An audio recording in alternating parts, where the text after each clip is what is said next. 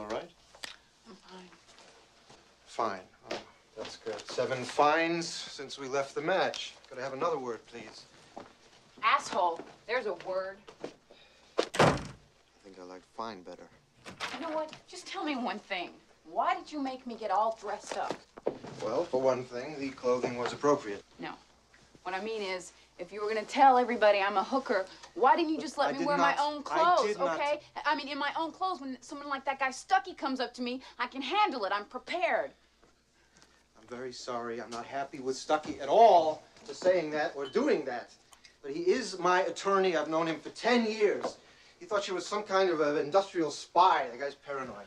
What are you, my pimp now? You know, you think you can just pass me around to your friends? I'm not some little toy. No, you're not my toy. I know you're not my toy. Vivian! Vivian! I'm speaking to you. Come back here. I hate to point out the obvious, but you are, in fact, a hooker, and you are my employee. You don't own me. I decide, okay? I say who, I say I- when, I say who. I refuse to spend the next three days fighting with you. I said I was sorry. I meant it. That's the end of it. I'm sorry I ever met you. I'm sorry I ever got into your stupid car. As if you had so many more appealing options. I've never had anyone make me feel as cheap as you did today. Somehow, I find that very hard to believe.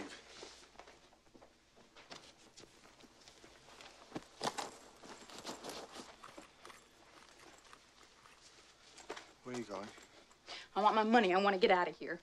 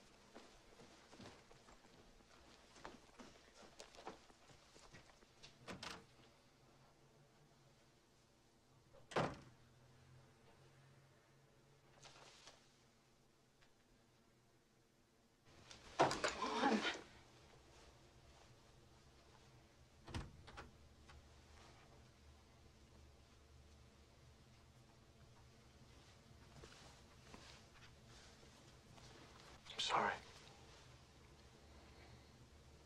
I wasn't prepared to answer questions about us. It was stupid and cruel. I didn't mean it. I don't want you to go. You stay the week? Why? I saw you talking to David Morse. I didn't like it. We were just talking. I didn't like it. Down?